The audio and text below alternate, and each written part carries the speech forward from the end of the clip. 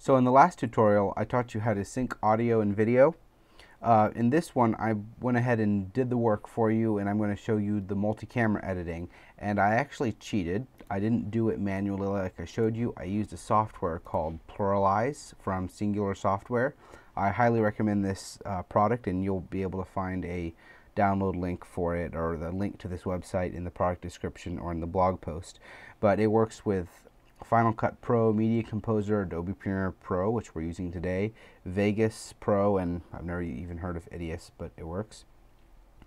And uh, it has saved me uh, countless hours because I do a lot of this type of uh, work where I do multi-camera editing. So uh, here's what it'll look like if, if you use that. Now if you had done it manually, you'll get the same result. You'll just have spent a few more hours working on it. But I'm going to import the clip uh, that was synchronized, which is basically an XML file, and um, it's wanting me to relink one of these files, which is not surprising. Mm, not that one. It'll be this one. There we go. That's because I synchronized it from my server instead of uh, on this computer. Um, then I'll open up this folder here. I'll open up the file, and there we go all of the entire hour-long interview is synchronized for me. What I was showing you earlier manually is done here, except you'll notice that it actually made a mistake in this, in this one. And um, that's why it's very important to know how to manually sync audio, even if you have one of those automatic uh, uh, synchronization tools. And uh, in this case, it just made one mistake, and um, you can tell visually where it goes. It just goes right here. Um, but we'll have to make sure it's in the right spot. I'm just going to go ahead and drop it right there. Now we're going to zoom in and apply the same techniques we did last time to make sure it's definitely synchronized um, with everything else. I'm going to open up some of this audio and if it links up perfectly, we know we still have a sync. So the, the highlighted one here is the one we dropped. And it looks like we do have a synchron synchronization and we're going to go ahead and okay what are you going to do? Uh, again that's a lot of bad audio in there that we're going to disable but that sounds like a good sync and visually it's a good sync. So let's go ahead and get rid of all the audio we don't need and we'll be able to move on to multi-camera editing. Again I normally use two screens for this so uh, the the one screen is um, is a little bit more um, compressed here. So I'm going to alt select so that I don't I don't want to delete the video that's associated with it. Um, I'm going to alt select all of these audio tracks. Why these? Because the ones we want are these two. The in this case, my good audio was attract, attacked, attached to this audio track here, which had system sound. A very common thing would be for you to record audio separately on an H4n, in which case you delete all of the audio except for the WAV file that was externally recorded. This is something you only do once you know that you have synchronized your audio. And here I'm pretty confident, so I'm going to go ahead and delete it. I push the delete key, and I'm these are two linked files here. And I'm what I have remaining is just my good audio, which I'm going to play here for a second. Right. So basically, with a lot of the video. And now we have these, you know, one, two, three, four layers of video that I'm going to select. I'm doing out select here just to select it and not the audio. I'm going to right click and nest it into a sequence. Now we have a nested sequence.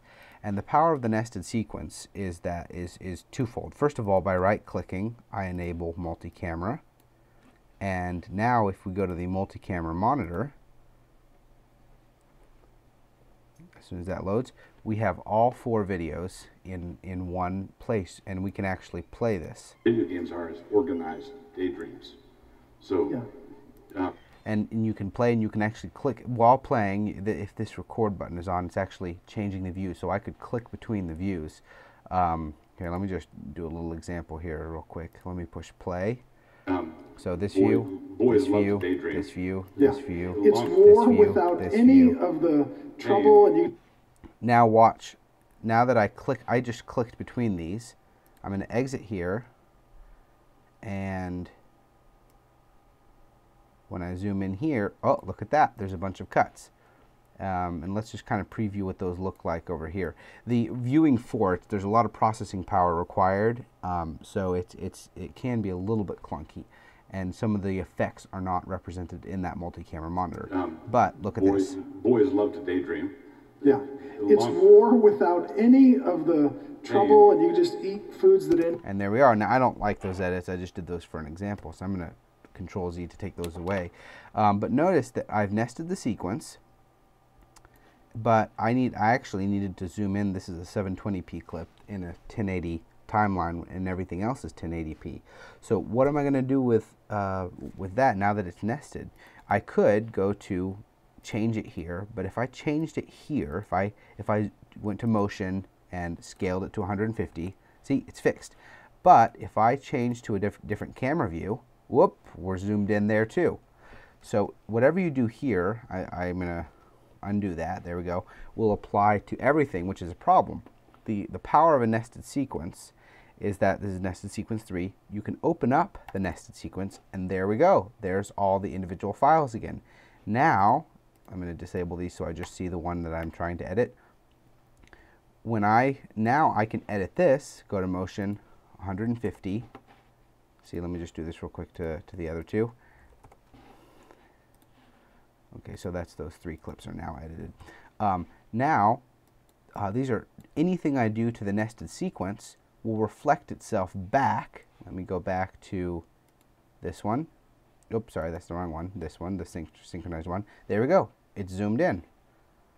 Now, this doesn't on, doesn't only apply to zoom. I can I can do all of my editing in the multi-camera view here. And again, one view way is to use the multi-camera monitor like I did here. Another way is to just make a cut. Let's say we make three cuts. Look, and we'll right click on here, camera 2, on here, camera 3, camera 4. So I was right clicking on these sections and now just kind of just to show you a girl and start having kids. oh that's a long clip let me just zoom in a little bit more and it's going to change oh, When he's 47, if he's been there we are uh, again I just kind of put those in randomly so I'm going to take them out. Control Z, wonderful key keystroke.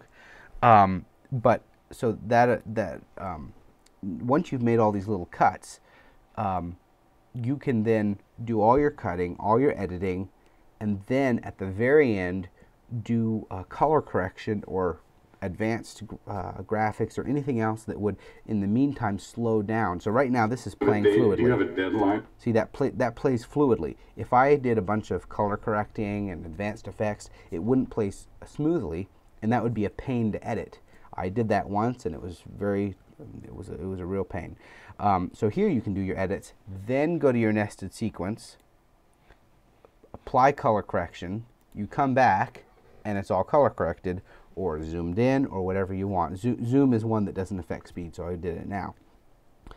Um, so that's basically the, the basics of multi-camera editing. And let me just kind of um, uh, show an example of just kind of a workflow. So let's see. I'm just going to just do a little bit of editing here. I'm going to zoom in to the front. Here's where they said hi. And you'll just see a little bit how I, how I would do it. Um, I'm going to not use the multi-camera edit um, editor here at the beginning. So I'm just going to start here, wide view. Oh, Mark.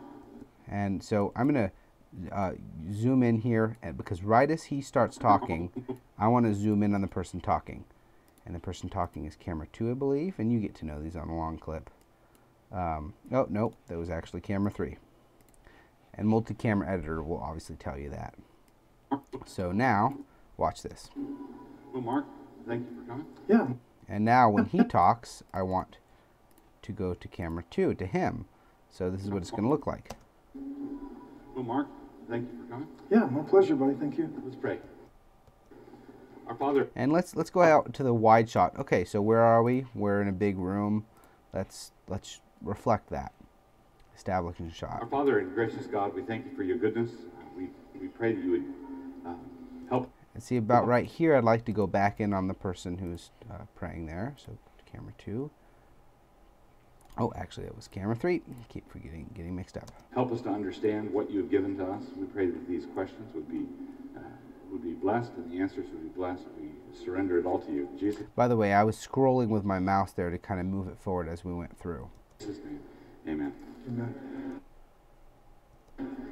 Mark, thank Let's say we want to go back to Mark here, camera two. Mark, thanks very much for joining us here at Yeah. this conference. Um, And then typically I'd go back to one, and, and you can you get the idea here. I wanted to begin by just noting that I asking why you didn't talk me into using these mics earlier than this. So there, you know, I might go back to get the reaction. You like this? Yeah, well, uh, So there we are. There's a little bit of uh, editing in a nutshell. So thank you very much for watching this tutorial, and uh, you can go to foucachonmedia.com for more of these tutorials or to see some of my work, or follow me on on YouTube. Thank you very much. In the run-up to this conference, uh, there, uh, oh, I don't know, a few weeks ago, there was a internet dust-up that happens from time to time. I've heard about I've things heard, on the I've heard of those, and I, I've heard that you were involved in one of them. Yeah. One of the um, controversies, one of the questions that I wanted to ask you about has to do with cessationism, non-cessationism, revelatory gifts. The, refor- the Reformed world, the Calvinistic world, um, has historically not been big on that. On yeah, since Warfield especially. right. So, um, do you see the Reformed world divided neatly into cessationist, non-cessationist groups, or do you think it's more complicated than that? Uh, would you say cessationist, non-cessationist, cessationists who believe the world is a weird place? Um, what sort of categories do you have when you when you're thinking about the experiences that you've talked about and some of the people Yeah. who have talked about you having them? Yeah. Um, how do you, where do you, what shelf do you put them on in your mind theologically? Yeah, I see when it comes to the issues of the supernatural and what we call the charismatic, it's it's like a dimmer switch in a room. In the reform world, there's a whole range, you know. So there's the guys over here like the Trinity is Father, Son, and Holy Bible.